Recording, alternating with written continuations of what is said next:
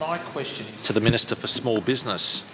Minister, on the weekend you pointed at small businesses and said they needed to get their staff vaccinated and you said lockdowns would continue until 70% of the community had been vaccinated.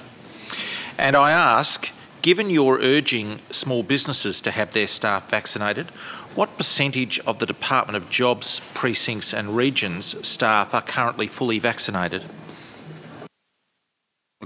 Minister, oh, Minister Pulford.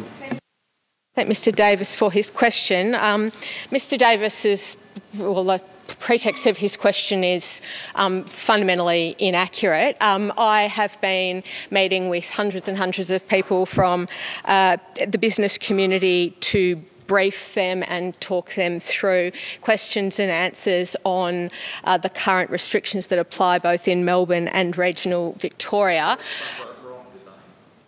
The, um, the, uh, the comment, and Mr Davis, I think, is, um, is being uh, pretty cheeky in the way that he's verbalising it, um, related to um, a conversation that I've had with pretty much everyone I've spoken to online, in forums, uh, in um, interactions with people, um, encouraging uh, them to, if they are eligible, be vaccinated. This is consistent with uh, the health advice uh, of, well, well most, in fact, perhaps all epidemiologists on the planet, and is entirely consistent with um, the messages uh, that our Chief Health Officer uh, and public health team, that the Minister for Health, and indeed everyone from this government, indeed many members from the opposition, uh, have been encouraging people to take up um, take up the opportunity to be vaccinated at the earliest opportunity. And so when I had probably around 450 or so people at various forums, more actually. Um, I did take the opportunity to encourage people as uh, business and community leaders, and many community leaders involved in those briefings as well, um, that where the opportunity presented it to the, uh, itself to them, um, it would be great if they could encourage vaccination. Um, and so the, um, the the, the 70% um, comment um, Mr Davis um, is referring to um, was uh, very much an observation that 2% is not very much. So I spend most of my days talking to people, talking to people in the business community who want to know when the international borders can open. Uh, they want to know uh, when we will return uh, to a pre-pandemic way of life. And the answer to that question, of course, is when there is a widespread rate of vaccination.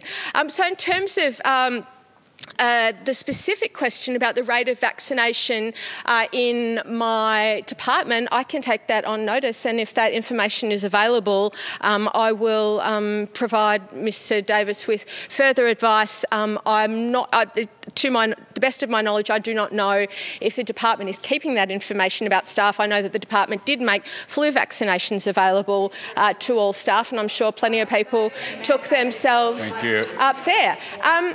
The vaccines aren't mandated. Thank you, Minister. Mr Davis on a supplementary. Well, President, um, the conclusion is the minister's walking away from her statements in the Herald Sun, and the second point I would I would make is that um, she wants to walk away from the need for her to advocate inside her department, and I therefore ask as a supplementary, and I therefore ask as a supplementary.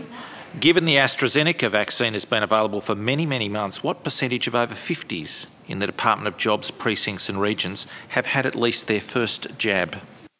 Minister. Uh, thank you. Um, and again, um, if that information is available, um, then I'm happy to uh, provide it to Mr Davis. I'm not sure that it is. And unlike um, members of the Liberal Party, um, we uh, respect uh, the right to privacy of health records of individuals, unlike some of this filthy behaviour we saw overnight from the Shadow Treasurer. But I am absolutely an advocate for vaccinations. I could probably tell you to, to a reasonable degree the people in the department that I've been meeting with and their vaccination status because it is a conversation that comes up each and every day.